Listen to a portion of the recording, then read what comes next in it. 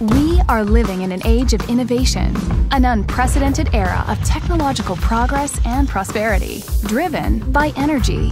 However, most of this energy still comes from fossil fuels like coal, oil, and natural gas, which account for a majority of global CO2 emissions and are a leading contributor to climate change. It's time for a disruption. What if we could incentivize innovators to help address climate change by turning CO2 emissions into something we can use?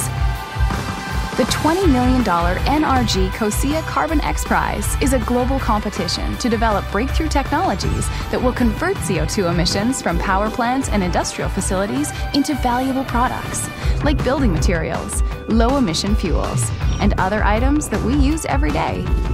At XPRIZE, we incentivize the brightest minds from around the world to create the solutions to the world's greatest challenges. Join our mission, form a team, or follow the competition online and help us build a bridge to a cleaner energy future. The $20 million Carbon XPRIZE. Reimagine CO2.